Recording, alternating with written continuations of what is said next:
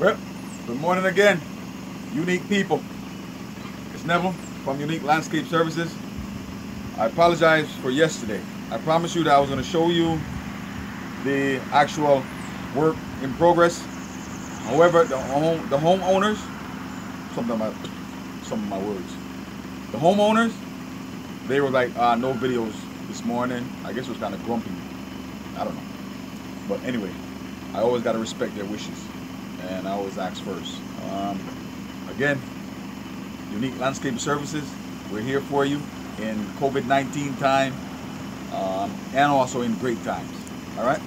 So just um, you know, link us up. Description is there. All right. The number, everything's gonna be there. All right. Um, I'm on my way now to uh, location, one of our next um, beautiful uh, client. We're gonna do some service there. It's in the Lucea direction.